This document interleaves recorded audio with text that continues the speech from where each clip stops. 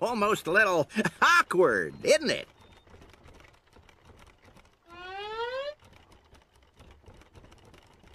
So do you have a boyfriend back home? Ow! My He can't deal with them! Oh, hey kids, didn't see you there. How'd the trials go? It was fine, except for the bloodthirsty Holmes. And you'll be glad to know we've decided to stop our... That's great, Sprig. Anyway, we were just getting into the nitty gritty. Now that you guys are back, we can talk about Anne's boyfriend again. Ah!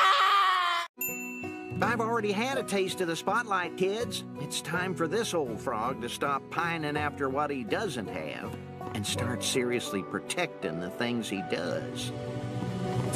Bravo, Hop Pop. Bravo. Besides, this whole experience has taught me that the real power is behind the camera. Wait, you don't mean... That's right, Anne. From now on, I want to be a director.